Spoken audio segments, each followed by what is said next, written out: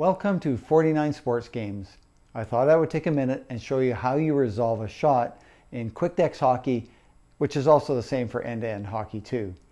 So when you get a shot on net after you've gone through your ice action cards and you determine there's actually a shot on net, there's two things you need to look at. The first thing you're going to look at is the rating of the shooter. Now he's either going to be rated to shoot from in, slot, or out. Forwards have higher rating from in, where a defensemen have a higher rating from out.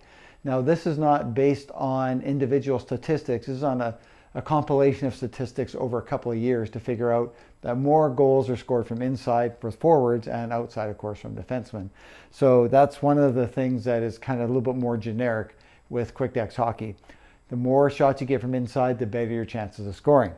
So let's have a look at a shooter here. And for the Vancouver Canucks, let's say Henrik Sedin is going to take a shot and his shot's going to be a shot from the slot, and he's rated a four. The goalie he's going against is Toronto's Martin Gerber.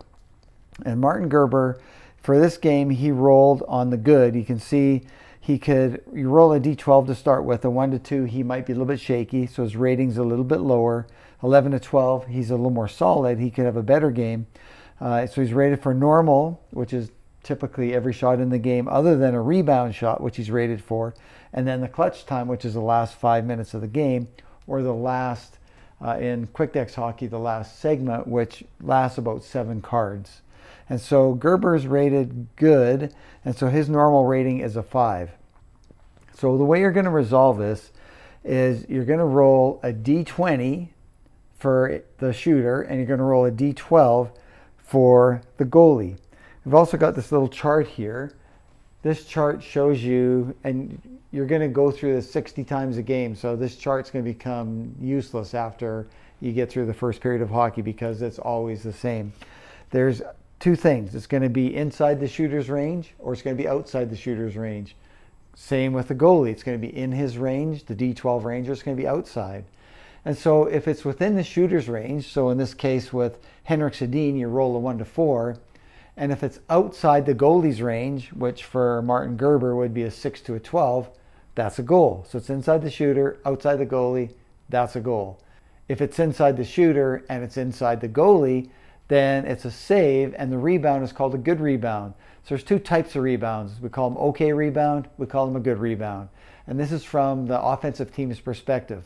So if the shooter gets a shot on net, so Henrik Sedin rolls a 1 to 4, but Gerber rolls 1 to 5, so you get this good rebound, it means the shooter got a really good quality shot on net the goalie had to make a pretty special save to make it. And so now there's a chance that there's a good rebound that the offensive team can jump on and try and get a better shot on net. So now if the shot is outside the shooter's range and it's inside the goalie range, well, the goalie's able to smother the shot. The shooter didn't get a great shot on net. The goalie was able to track it down and, and leave it up to your imagination. Did he snag it with his glove? Did he trap it in his body? Did he knock it down with his blocker and, and then cover it up? you know that that's part of the fun imagination that you go through as you play the game if it's outside the goalie range and it's also outside the shooter's range that means there's going to be a chance for a rebound but it's just an okay rebound because it wasn't a great shot on net. The goalie still had to make a save. He wasn't able to, to capture and hold on to the puck. So the puck's loose. Now something's going to happen. And so you're going to turn over a game action card and that's where you're going to resolve it. And of course, the game action card also has a rebound good. It tells you what happens on each of those uh, options when they come up. So again, quickly recap what's going to happen when there's a shot determined to be on goal from the action cards. You're going to roll two dice. You're going to roll a d20 for the shooter, a d12 for the goalie. If it's within range on the shooter and outside of range on the goalie, it's a goal. And we've got this little chart that shows you all the rest of it. But like I said, you're going to be doing every shot in a game. And that's what's a little bit different, I think, with uh, Quick Decks hockey and with end-to-end hockey. You're going to go through every single shot on net, whether it's on the power play or whether it's on five on five or even in the overtime and whatnot. And so you're going to be doing this 60 plus times a game. So you're going to have this figured out real soon. Anyway, I'm going to keep doing some more videos, show you little snippets of the gameplay, and then we're actually going to get to showing an actual game in action. Thanks for watching. See you next time on 49 Sports Games.